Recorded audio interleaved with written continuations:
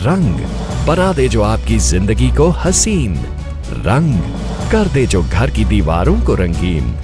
रंग, जो घर को दे एक पहचान नई। रंग, जिनमें नज़र आए प्यार। सैम प्लास्ट पेंट्स करे आपकी दुनिया रंगीन। Sam प्लास्ट paints